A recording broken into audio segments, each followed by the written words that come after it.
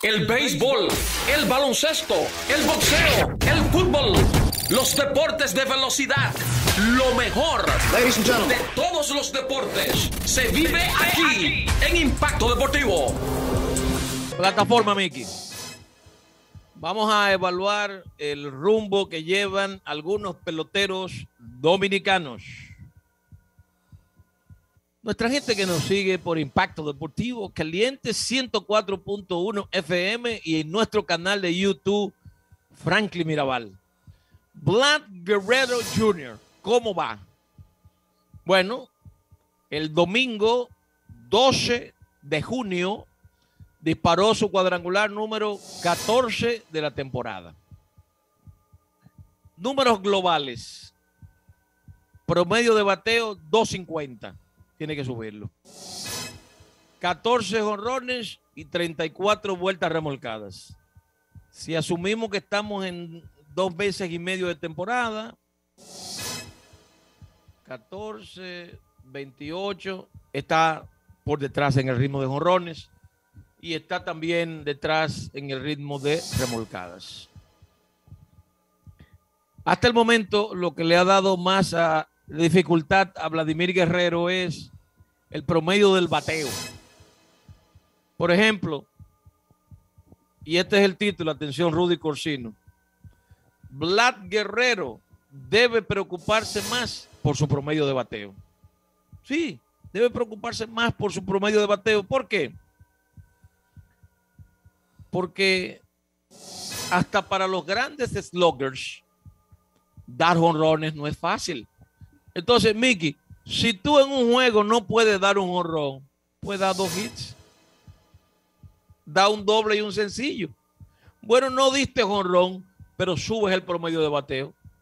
Y cuando viene a ver con ese doble y ese hit, también aumentas la cantidad de vueltas remolcadas.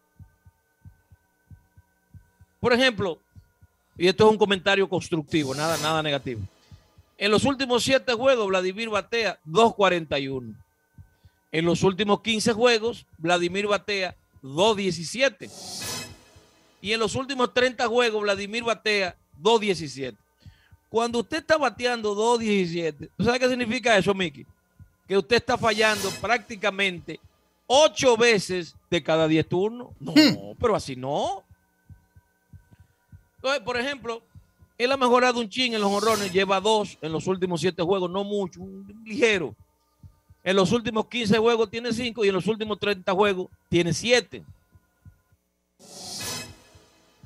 Entonces, mi recomendación a Vladimir Guerrero es que comience a recortar un poco el bate, a hacer más contacto y cuando él entienda que le han hecho un picheo en su zona, pues tú le das con todo y vienen los horrones porque habíamos determinado de que los pitchers lo habían estudiado tan bien que sabían dónde ponerle el picheo para que Vladimir Guerrero no pudiera extender los brazos y dar jonrones. Bueno, pues si no puedo dar jonrones, doy hit y doy dobles. Y entonces elevo mi promedio de bateo y aumento mi proporción de vueltas remolcadas.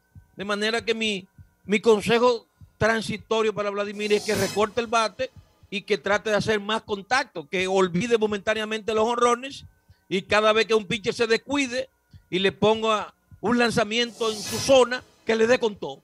Así que, pa'lante, Vladimir Guerrero Jr.